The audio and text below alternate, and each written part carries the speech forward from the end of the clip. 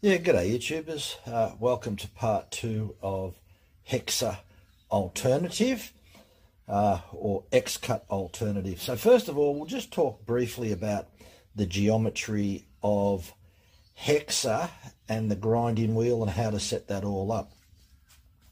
So when we look at this drawing here, this represents the grinding wheel and this is the top plate cutting angle that's here.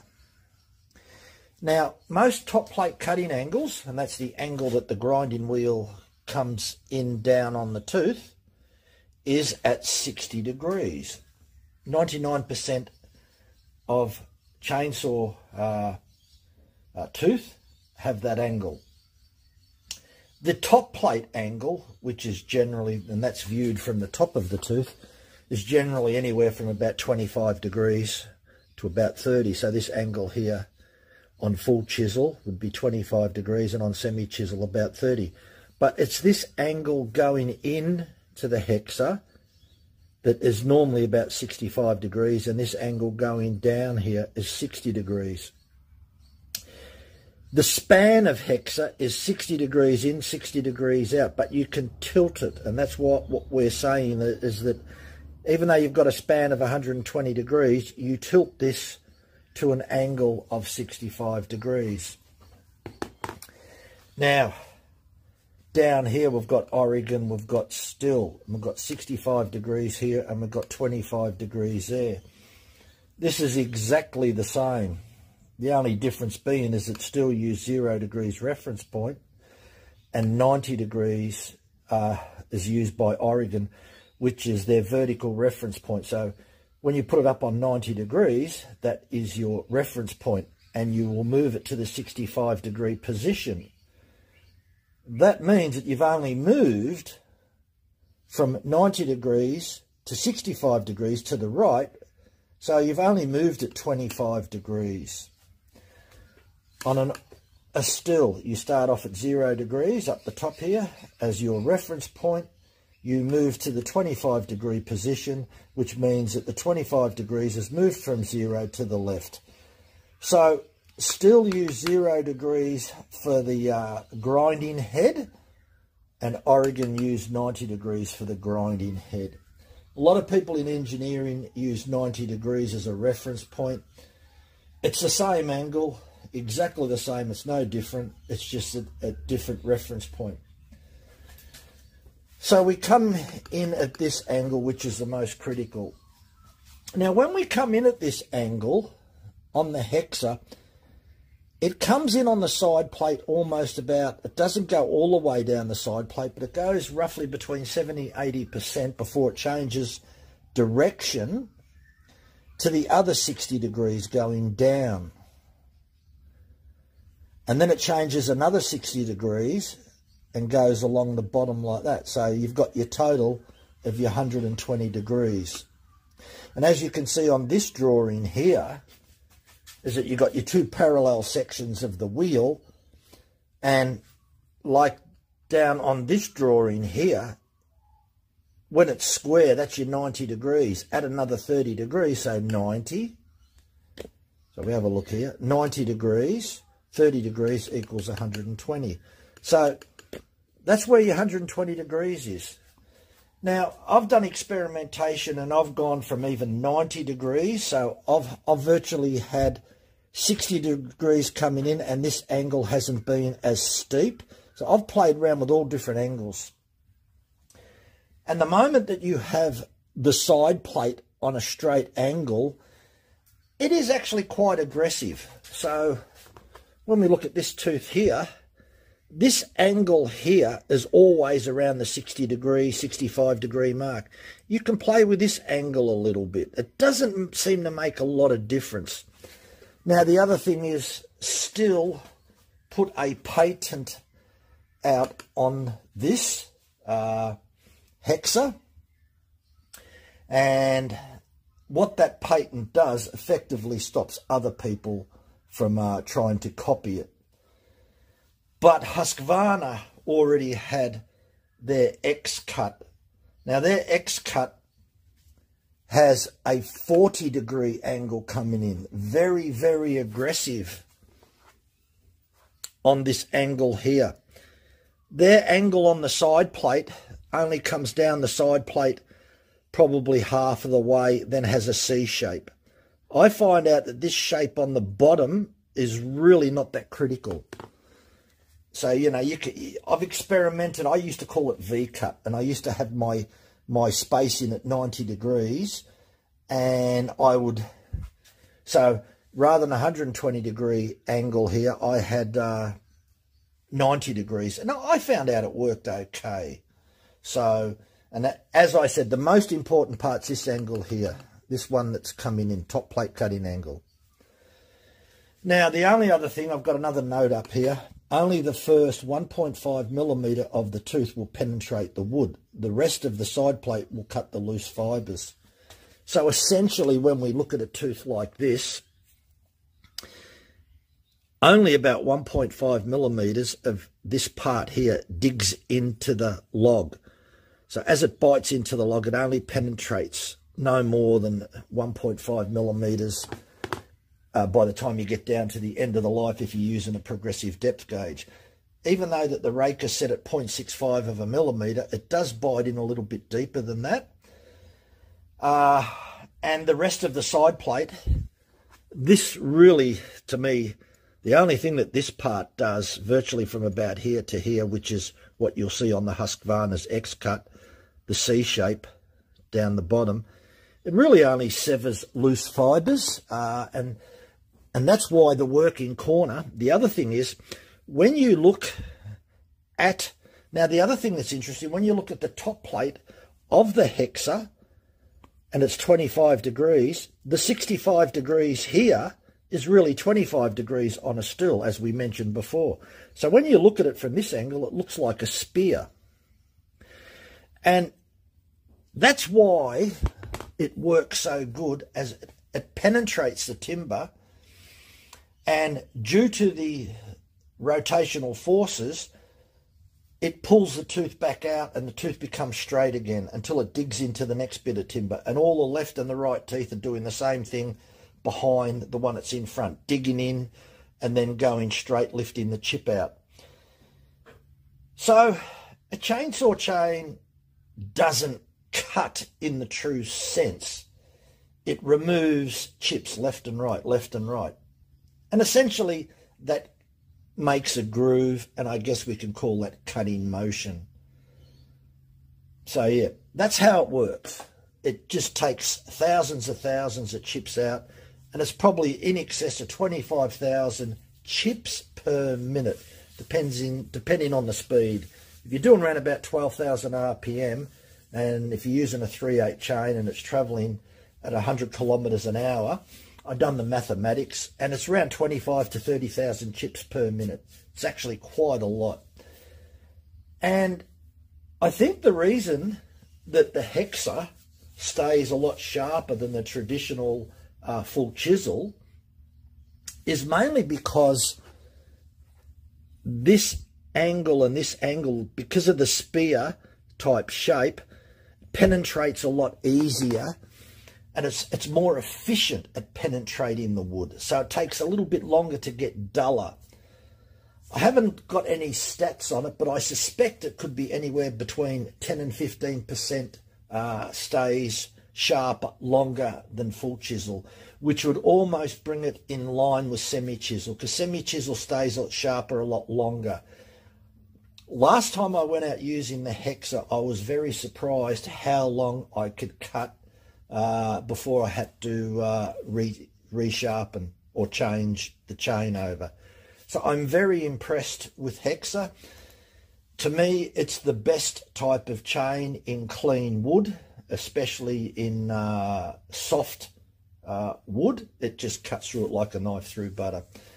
So what we'll do next is have a look at the grinding uh, wheel and the easiest way to get that hexa profile on your grinding wheel.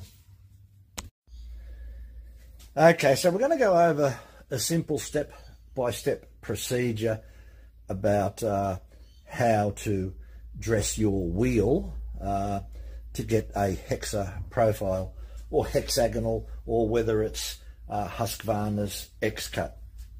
in either case, we'll address that.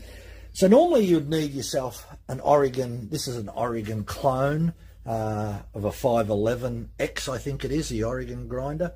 Brilliant grinder. This is a clone. Uh, you'll see them on eBay. You'll see them all over the place. Typically, they're only worth about $150 here in Australia uh, through Jono and Jono. Uh, so, and overseas is they go by all different names too. They're all made in China and they're all rebadged. But nonetheless, they're actually made quite well because there's very little plastic in them. And it's all aluminium all over, so they're made really well. They're not as good as a, genuine Oregon, but I'll tell you what, they're not far off it. And they take a wheel, so this wheel here is 4.7 millimeters in width, and it's got a normal round profile on it, and they're roughly about 140 millimeters diameter. So yeah, 4.8 uh, millim, 4.7 millimeters in uh, width here. So because you've got a move in the head moves, which is the technical name for that, this top plate cut-in angle, that's the angle that the grinding wheel comes into the tooth. And a grinding wheel does this much more efficiently than any round file can because you've got to hold a round file at a certain angle to get that 60 degree uh, angle in. But with a grinder, there's uh, you can know, move it to whatever angle you want. But the most common angle is 60 degrees. So before we're going to reprofile the grinder, we need to set it up uh, so that we can profile it. And what we will do is put this top plate adjustment angle to zero degrees. And we'll put this to 90 degrees. Now, when we look at a grinding wheel, you've got two parallel sections of the grinding wheel. So to make a hexa, you need 120 degree V. So it's pretty straightforward and easy. But to guess 120 degrees, yeah, you could end up with any anything. So it's much easier if you have, uh, look, I've got a little bit of plastic here. This is a 30 degree angle because if this is 90 degrees, a right angle is 90 degrees, and we add another 30 degrees to the right angle, that becomes 120. So I've made this little wedge. This little wedge is just under four inches in length. 30 degree angle here, it will sit between, right in that spot there, and you can see it on the bottom there, so make sure that it's, it's 30 degrees. Just lock that up. And by holding your uh, grinding stone like this and moving it and bringing the grinding wheel down and moving it backwards and forwards, you'll end up putting a beveled angle on there. So you'll end up with 90 degrees on the side of the wheel and you'll end up with a 30 degrees down there and that makes 120. So when you've done that side there, you can do the other side. And that's just a matter of pulling that out and turning that around and doing the same thing, putting it in that position.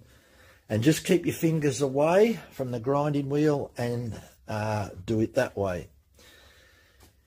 The other method that I tend to use is this is a diamond file and diamond file takes off quite a fair bit so uh, I'll just demonstrate that with a diamond file. So once you start the grinder up it's just a matter of bringing the wheel down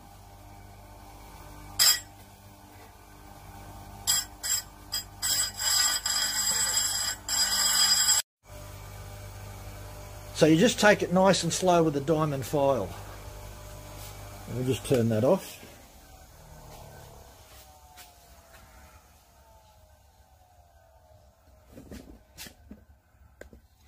We'll zoom in there so that you can see that.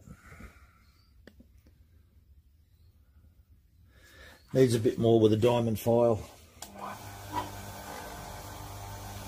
little bit difficult to see it.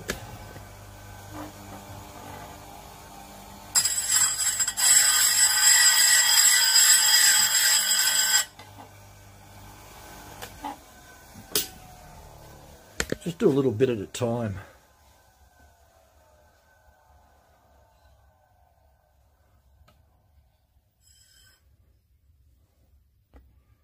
Zoom in and zoom out. There we go. That's pretty good.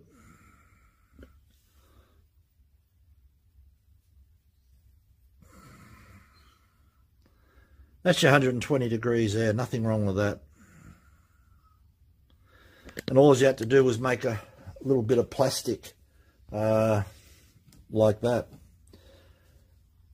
And it's just so easy to dress the wheel and as you can see, you've got a 120 degree uh, dressed wheel.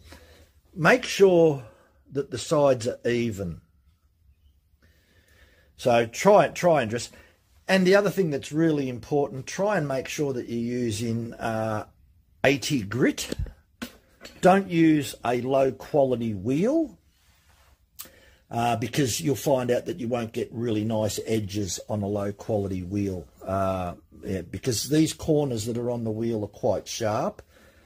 Uh, and if you use a 60 grit wheel, you don't get a really nice edge.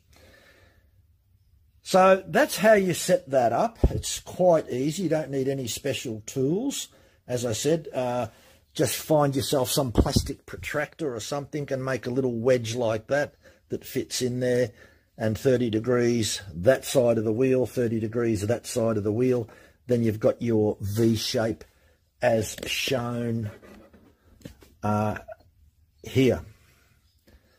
So that's all you've got to do. It's pretty straightforward and simple. The amount of times that you probably need to dress the wheel isn't a real lot. Uh, you may have to dress it slightly, very, very slightly after five or six chains.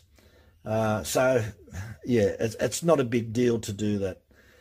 Anyway, that's uh, uh my take on it. Uh, hopefully those instructions uh, really help and guide you in the right direction of dressing your wheel and using the hexa. If you were doing the Husqvarna's uh, and you wanted to keep the, the profile of the Husqvarna's X-Cut, then what I would do is, which is time consuming, you could profile this grinding wheel uh, so that it, that it replicates that.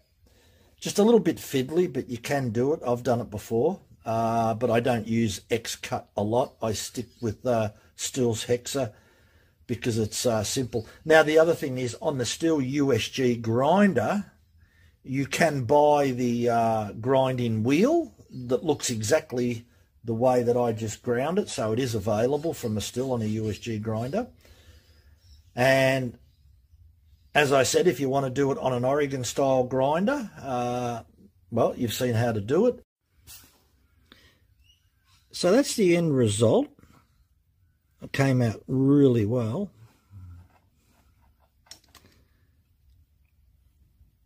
That is razor sharp.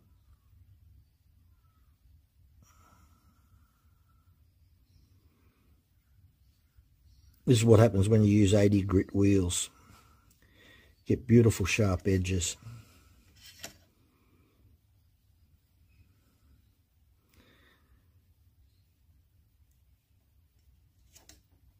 That's it. As you can see, when you look at that angle, it comes down uh, the side plate quite a fair bit. And you can vary that slightly, but as I was saying before, the side plate the width of that side plate is about three millimeters. So you, you can come down on that side plate, say two millimeters. I could possibly come down a little bit more than that. But nonetheless, it's uh, there's nothing wrong with that. That's fine. So in conclusion, we've replicated the Stihl's hexa without any problem whatsoever. And that's what it looks like there. 65 degrees in. And that's what it looks like there. A couple of degrees either way is not going to make a huge deal of difference. But where you notice on Husqvarna's X-Cut, it is different. You can see that the point, that point there, only comes down on the side plate nowhere near as much as what Stihl hexes uh, does. And it's 40 degrees. So I'll just sort of grab the pointer. We mentioned that Stihl's angle here came in at 65 degrees. It's 40 degrees on here. So it's really aggressive, that point. And it comes in for about one and a half millimeters, and then as you can see, it changes direction. Uh, got this sweeping C shape. So it is a little bit different, just this part here. So you can replicate this on a grinding wheel. It depends whether you want to do that or not. But if you put a round file through it, you're going to destroy that shape. Simple as that. It's the only thing I've got against this. They sell this profile but you only get to use it once. There's no file available. The only thing, when I spoke to the Husqvarna dealer and I mentioned it to him, he said, oh yeah, we just profile our wheel a little bit, so, but I could imagine how good that would be.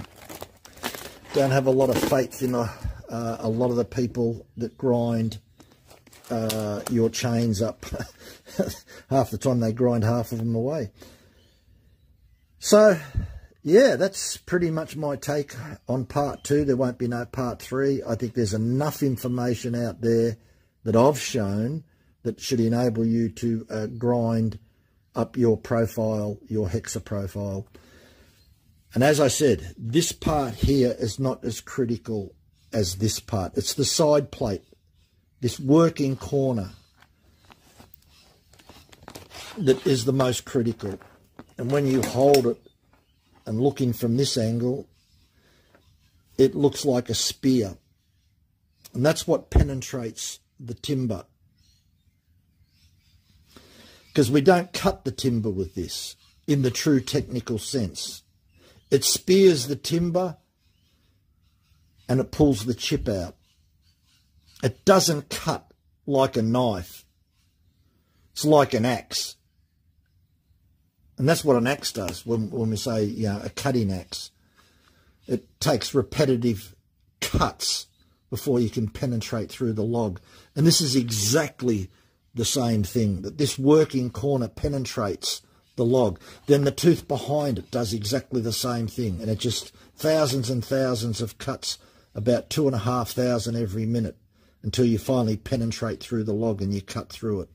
And that's how it works. Anyway, thanks for watching. Bye for now.